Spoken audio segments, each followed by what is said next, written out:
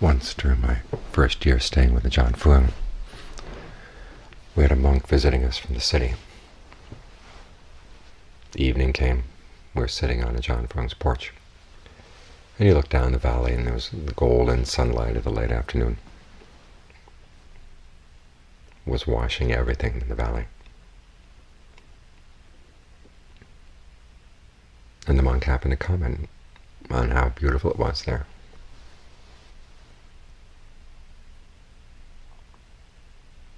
And the words had hardly left his mouth when Ajaan Fuang said, well, don't look at outside, look at what's in the mind saying that it's beautiful. Because that's where the problem is.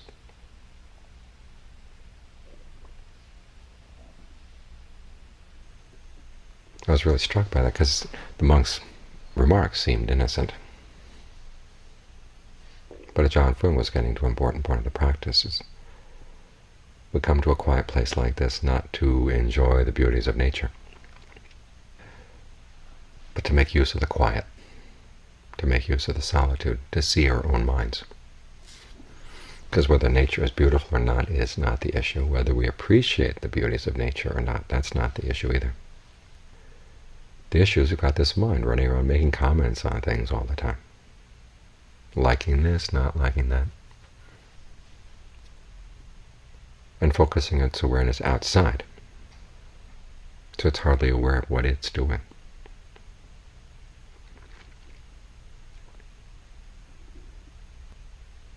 And yet it's the big troublemaker.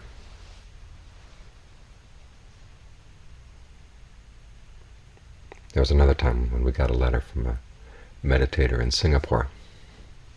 He was explaining to Ajaan Fuang his meditation technique, which was whatever he was focused on. He tried to see that it was impermanent suffering, not self. And again, Ajaan Fuang's comment was turn around and look at, see, at who's doing the commenting, who's saying that things are impermanent, stressful, not self. That's the troublemaker.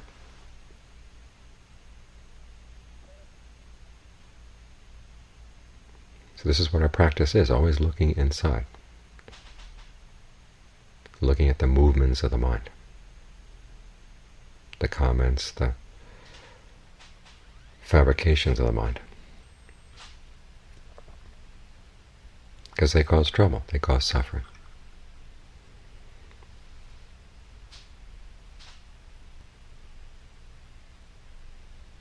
But as part of the path, we have to use these fabrications. After all, the Eightfold Path is a path that's fabricated. It's put together out of our intentions. It has right views and right resolves and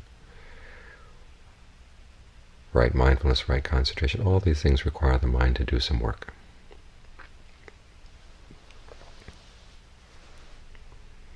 But the process of putting together a path is what should focus our attention inside.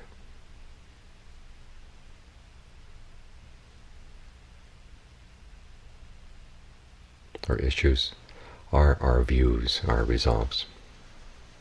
And to make them right, we have to pay attention to them. And where do they happen? They happen right here where the body and the mind meet at the breath. So focus your attention right here. And see what moves here. A lot of the movement, of course, is going to be physical, the breath coming in, going out, other things happening in the body. But as the breath grows more and more still, you begin to see the movements of the mind. It's the same principle, finding a place of quiet and solitude. When the outside movement gets less and less oppressive, the inside movement begins, begins to come to the fore. Because it's so easy when you live with other people to say, well, I'm happy, unhappy because of that person or this person. I'm stressed out because of the noise or whatever else is the outside factor that's impinging on the mind. But you come to a quiet place like here, you sit under the tree, and the mind is still complaining, still chattering away to itself. Once had someone come here and after a day of meditating under the trees, came out and complained it was too noisy. There were all those bugs in the leaves, wind in the going through the branches, birds singing. He was used to meditating in hermetically sealed meditation halls. Just shows you how possible it is for the mind to complain about anything at all.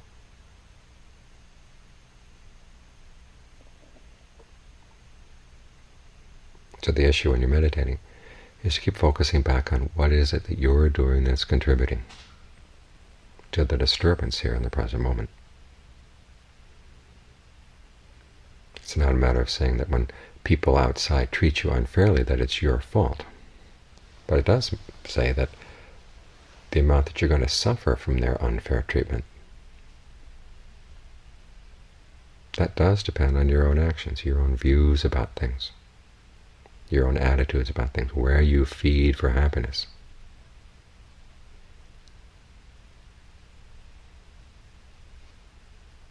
That's something you can change. That lies within your own power, which is why it's so important to focus your attention on what your mind is doing right now. And to see the movements of the mind, you not only give it a quiet environment, but you also give it a still point inside, focusing on the breath so that you notice whenever it moves away from the breath, you're sensitive to its having moved.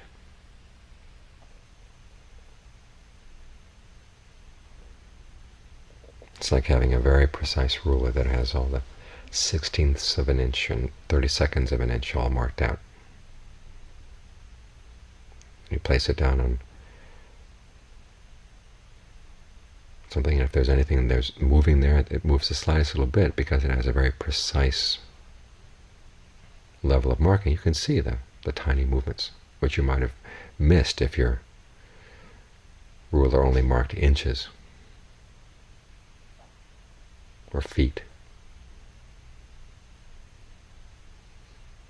You want to have something very precise and very still.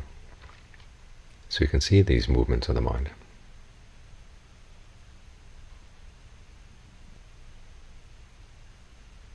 So we come to a quiet place like this not to enjoy the quiet. It's going to be there in the background, the fact that it's so quiet and so peaceful is a help.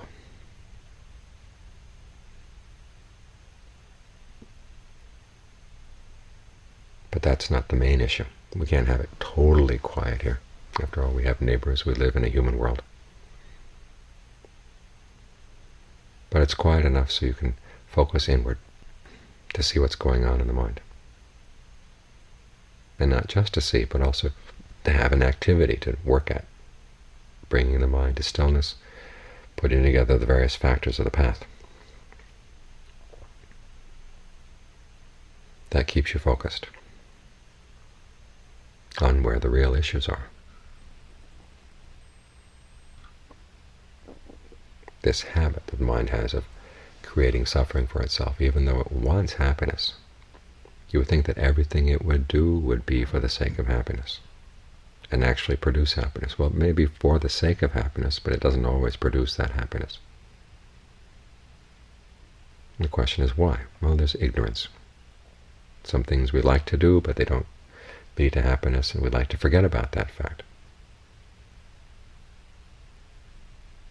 Or other things that would lead to true happiness, and we don't do them because we don't like them.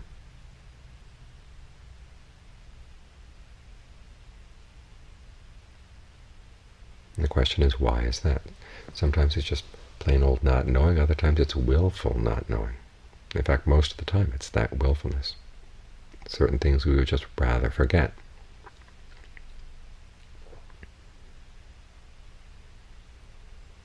And a very easy way to forget is to keep focusing our attention outside, outside, on things outside.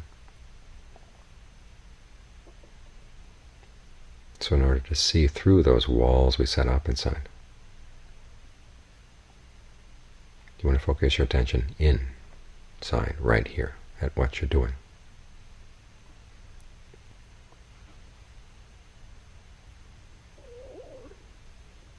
And that's how you make the most of being in a quiet place, being in nature,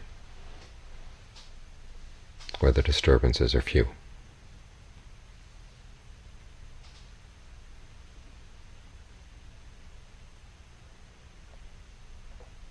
so that you can see the disturbances the mind is creating all the time. and learn to do something about them.